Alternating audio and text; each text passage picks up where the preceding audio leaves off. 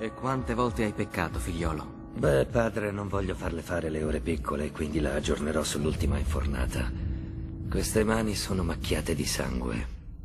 Tu parli in senso figurato? Quando voglio sapere una cosa, vado a cercare qualcuno che ne sappia più di me e gliela chiedo. A volte però ci vado pesante.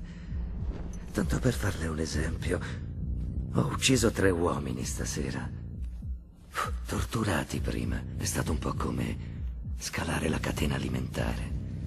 I primi due erano solo dei pesci piccoli, ma è stato Connelly che li ha pagati a indicarmi lei, padre.